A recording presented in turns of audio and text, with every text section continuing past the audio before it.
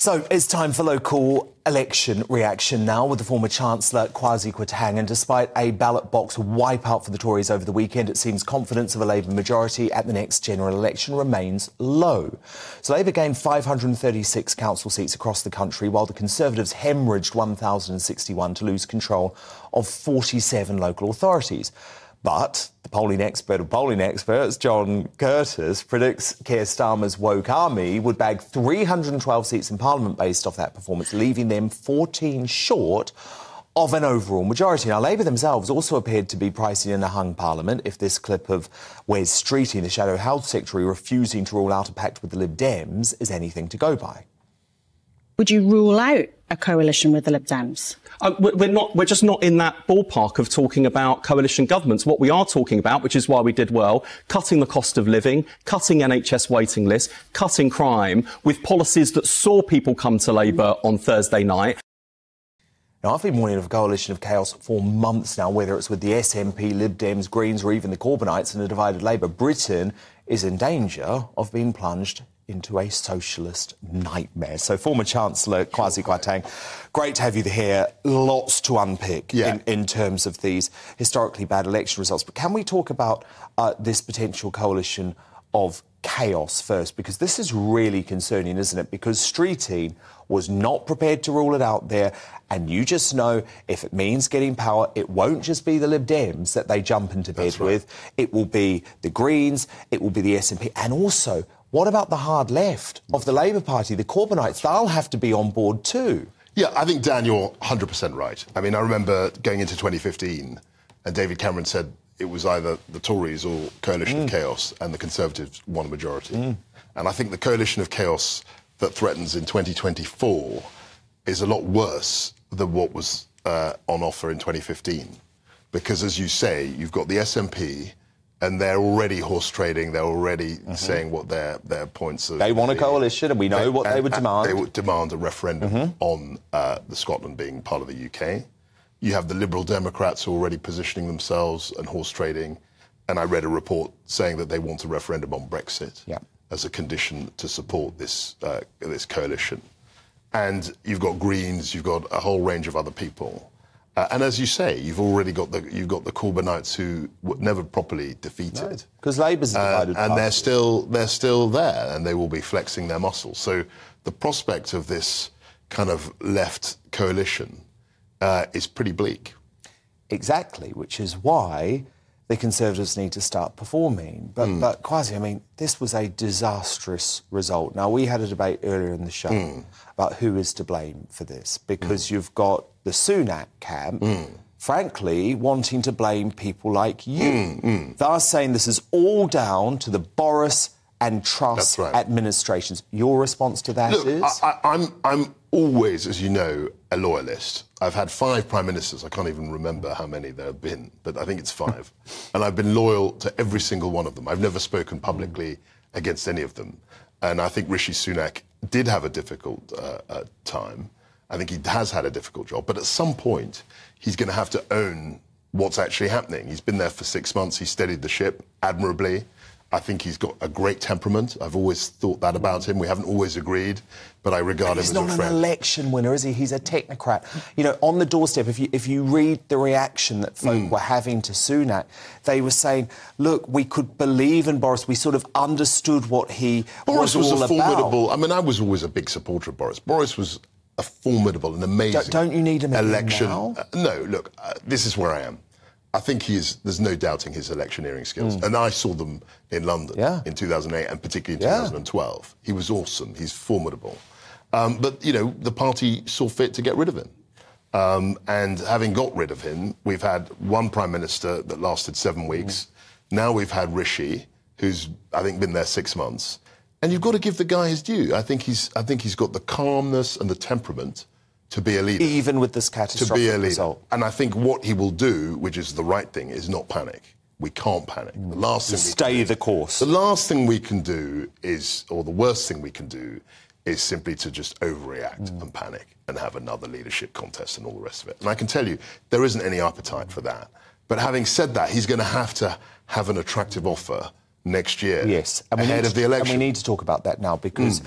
look, you lost your job mm. because of your bonfire of taxes. Now, that's right. I am very prepared to say I celebrated mm. that bonfire of taxes. Look, we've discussed before. We have. Maybe the communication was bad. Maybe All some of, of it things. was too fast. But at the end of the day, people are not going to vote, Kwasi, are they, for a high tax, big state conservative Well, that party? was always my position. I mean, that's why I didn't back uh, Rishi in the leadership. I had a very clear view that we the tax burden was too high.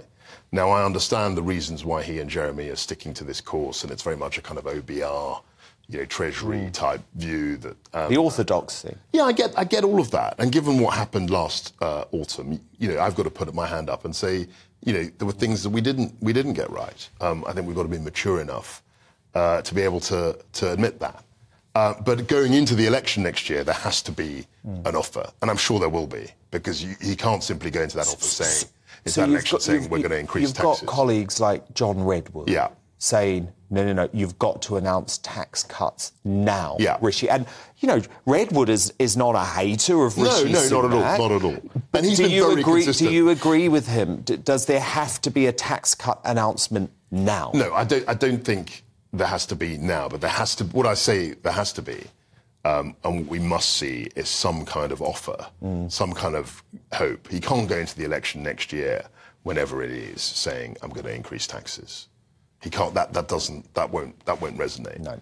Um, having said that, I fully appreciate what he and Jeremy have done. They've tried to steady the ship, but it's not just a defensive offer. You've got to have a positive, uh, forward-looking offer as well. So, so it sounds to me like you are accepting some responsibility yourself. A, a little bit. I mean, I just think. I mean, I've always felt that you know, if you're if you're going to reform something, I've always been a gradualist. I'm always somebody who's thinking, well, actually, we've got to do this step by step, and I've said that repeatedly. Um, but I think the, the insight that Liz had was absolutely 100% right. I don't think we're going to grow this economy by increasing taxes. Kwasi, we've got to talk about the weekend. Yeah, because sure. what an amazing weekend this has been for Britain. Can we start with, uh, I guess, the political star to emerge from the coronation, your colleague? Oh, she was fantastic. Mordaunt. She was fa- I mean, I don't know how heavy that sword is, but it looked very, very heavy. Yes. And I have to say, she carried it uh, as though it was a, a, feather. I mean, she had so much. But not only strength, there was huge dignity Yeah. and poise. And I've known Penny. I mean, she's not, she's a, a friend of mine. She's someone I've always respected.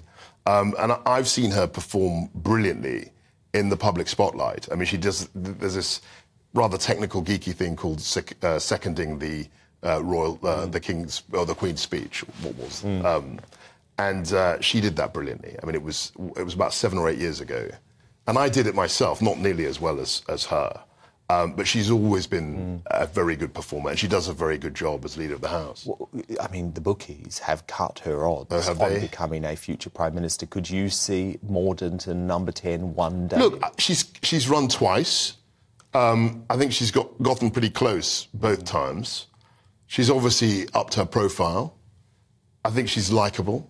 Um, and let's see what happens. But having said all of that, we have got a prime minister and we've got a general election to fight Yes. in less than 18 months or in about 18 months. I, I also want to talk to you about this, this astonishing moment on woke ITV. This is where the British actress Adjoa Andoh spoke about the, the balcony being terribly white. Have a look at this and I'll get you to react off the bat.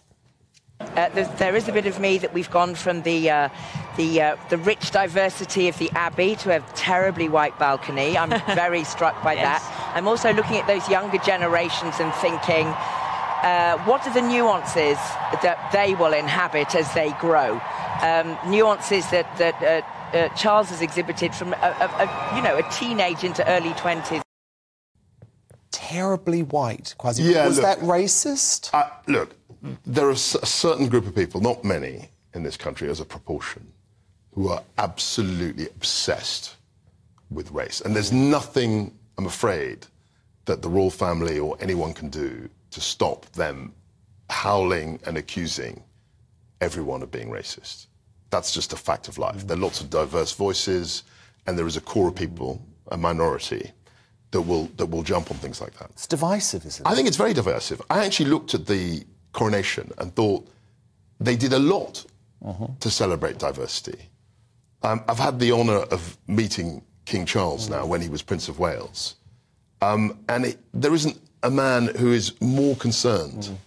about promoting diversity, about promoting inclusion, about mm. you know hugging the diverse cultures of this country, its traditions, not only here but also in the Commonwealth. Mm. And I think he would find it very hurtful.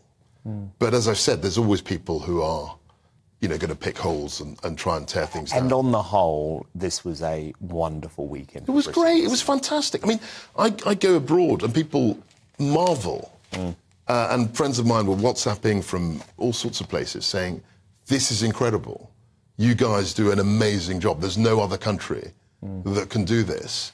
And I just hope and wish that people would celebrate that. Indeed.